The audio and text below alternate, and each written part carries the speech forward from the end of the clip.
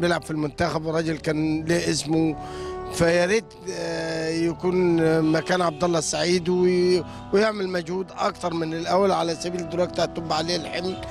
ونادي الأهلي نادي عظيم وربنا يوفقه إن شاء الله. أنا بحب كابتن صالح جمعة جدا وشايف إن هو من أحسن اللعيبة اللي موجودين في مصر ويمكن في أفريقيا. من أول أول يوم جه في الأهلي كنت نفسي إن هو يكمل وشايف إن هو يعني هيبقى أحسن لاعب في مصر. آه، أتمنى إن هو يستمر في النادي الأهلي واتمنى إن المدير الفني يركز عليه. صالح جمعة عايزينك ترجع زي زمان وتعوض آه، عبد الله السعيد وتثبت إن أنت لعيب موهوب. صالح جمعة لعيب جميل ولعيب صانع ألعاب جميل و... ولازم بعد حسام غالي يكون صالح جمعة إن شاء الله. هو يعني الفترة الجاية دي إن شاء الله بإذن الله كده بدأ التمرينات وبدأ يلتزم والدنيا تبقى جميلة معاه إن شاء الله. الفترة الجاية دي أنا يبقى لعيب جميل وإن شاء الله ربنا ييسر الأمور الفترة الجاية دي. اولا هو من أفضل اللاعبين خط الوسط في مصر بل الوطن العربي كله.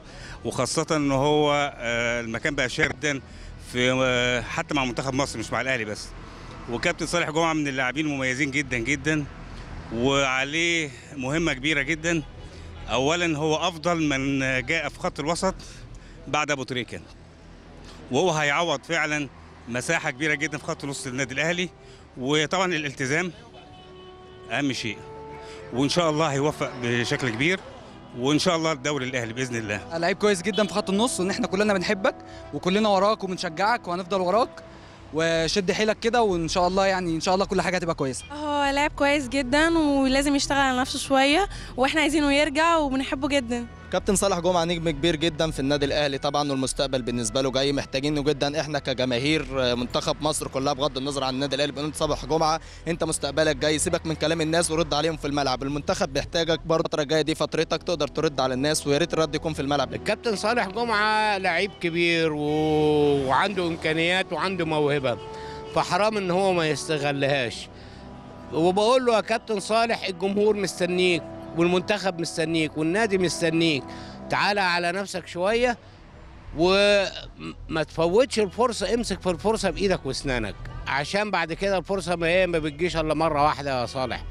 وأنت لعيب كبير وموهوب ونتمنى إن إحنا نشوفك في أحسن مستوى. ممتاز جدا والمفروض تاخد فرصتك دلوقتي لأن وسط النادي الأهلي مفيش لعيبة متمركزة اللي هي تبقى متعود عبد الله السعيد أو محمد أبو تريكة.